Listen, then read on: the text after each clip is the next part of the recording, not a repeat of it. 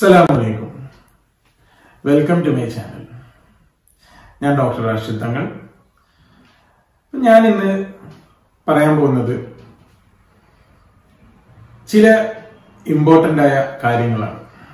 അതായത് നമ്മൾ എല്ലാവരും ചിന്തിക്കാത്ത നമ്മൾ എപ്പോഴും വളരെ സിമ്പിളായിട്ട് കാണുന്ന നമ്മൾ അധികം ശ്രദ്ധിക്കപ്പെടാത്ത നമ്മളുടെ ശരീരത്തിൽ ഉണ്ടാകുന്ന ചില ബുദ്ധിമുട്ടുകൾ. നമ്മൾ കണ്ടിട്ടും കണ്ടില്ല എന്ന് നടിക്കുന്ന ചില പ്രശ്നങ്ങളെ കുറിച്ചാണ് ഇന്ന് ഞാൻ പ്രധാനമായും സംസാരിക്കുന്നത്. അതായത് നമ്മുടെ ശരീരത്തിൽ ഏതൊരു അസുഖമാണെങ്കിലും ആ ഒരു അസുഖം നമ്മുടെ ശരീരത്തിൽ ഉണ്ടാകുമ്പോൾ അത് ചില സിംറ്റംസ് അതായത് ചില അടയാളങ്ങൾ ചില ലക്ഷണങ്ങൾ പുറപ്പെടുവിക്കാറുണ്ട്. അപ്പോൾ പലപ്പോഴും സംഭവിക്കുന്നത് നമ്മൾ അതിനെ നിസാരവൽക്കരിക്കാൻ ശ്രമിക്കുകയാണ്.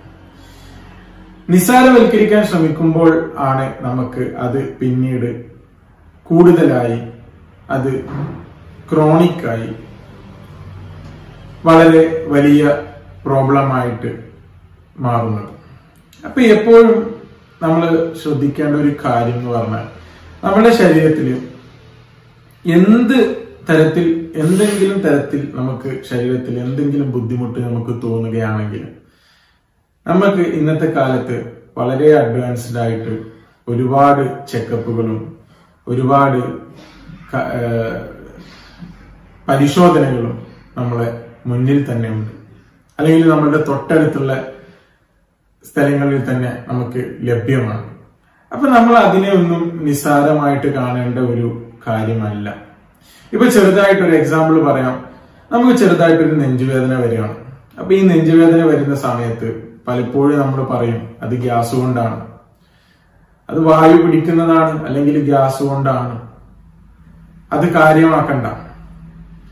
അപ്പോ കുറച്ച് പേടി കൂടുതലുള്ള ആളുകൾ ജീവിക്കാൻ കൊതിയുള്ള ആളുകളൊക്കെ ആണെങ്കിൽ അവരും ചിന്തിക്കും ഇത് കുറച്ച് പ്രശ്നമാണെന്ന് തോന്നുന്നുണ്ട്.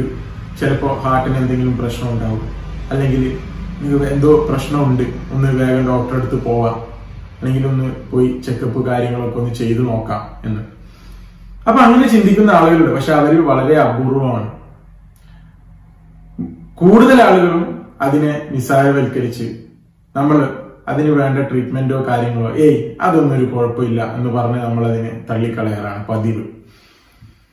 അപ്പൊ എപ്പോഴും ശ്രദ്ധിക്കാം നമുക്ക് എന്ത് രോഗമാണെന്നുണ്ടെങ്കിലും ആ രോഗത്തിന് ലക്ഷണങ്ങളുണ്ട്.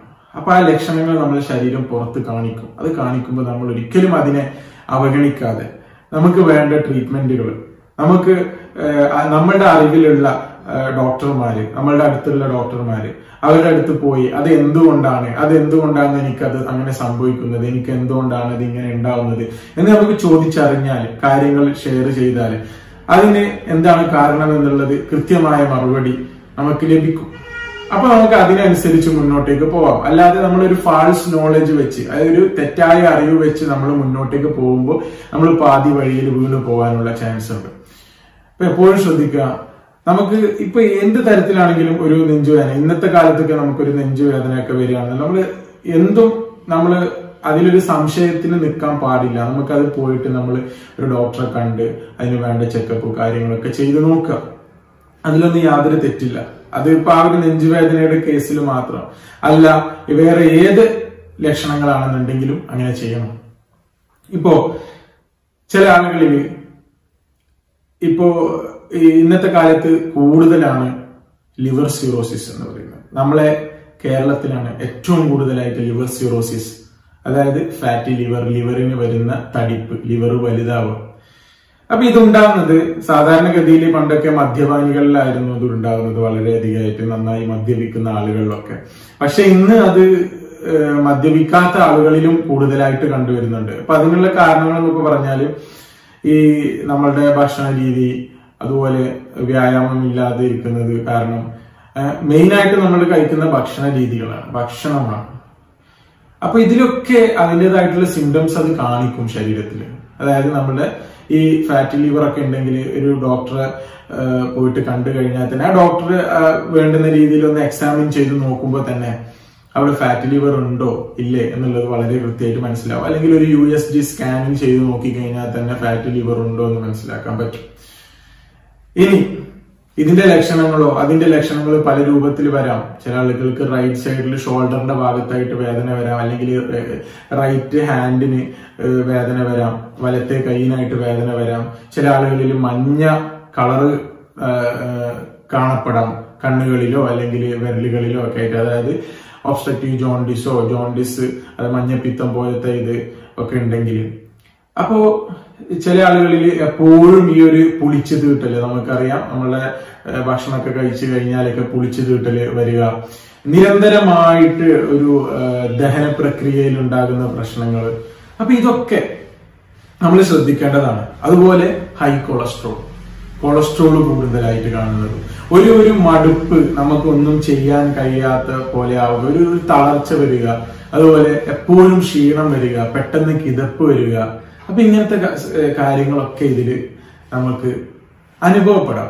അപ്പൊ ഇതിനൊന്നും നമ്മൾ നിസ്സാരവൽക്കരിക്കാതെ നമ്മൾ നമുക്ക് എത്തിപ്പെടാൻ പറ്റുന്ന നമ്മളുടെ അടുത്തുള്ള നമുക്കറിയാവുന്ന ഒരു ഡോക്ടറുടെ അടുത്ത് പോയി ഈ കാര്യങ്ങളൊക്കെ നമ്മൾ ചോദിച്ച് അവരുടെ നിർദ്ദേശം എന്താണോ നോക്കി അതിന് വേണ്ടുന്ന ടെസ്റ്റുകൾ കാര്യങ്ങൾ ചെയ്ത് അതിന്റെ ട്രീറ്റ്മെന്റ് എടുത്തു കഴിഞ്ഞാൽ നമുക്ക് ഈ ഒരു ബുദ്ധിമുട്ടുകളൊന്നും വെച്ച് കൊണ്ട് നടക്കേണ്ട ആവശ്യമില്ല. മറ്റത് നമ്മൾ ഒന്നും അറിയാതെ പെട്ടെന്ന് ഒരു സമയത്ത് നമ്മളുടെ ശരീരം പ്രവർത്തനം നിൽക്കും. നിശ്ചലമാകും.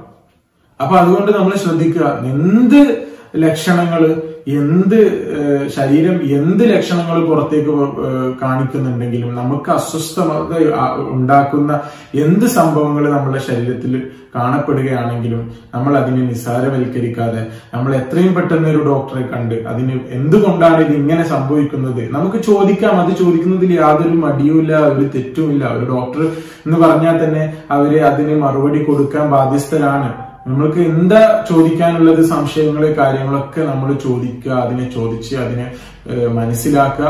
അതിന് എന്തെല്ലാം ഇനി ചെയ്യാൻ പറ്റും എന്തൊക്കെയാണ് അതിന്റെ ട്രീറ്റ്മെന്റ് അത് എന്തൊക്കെ ടെസ്റ്റുകൾ ഇനി ചെയ്തു നോക്കണം.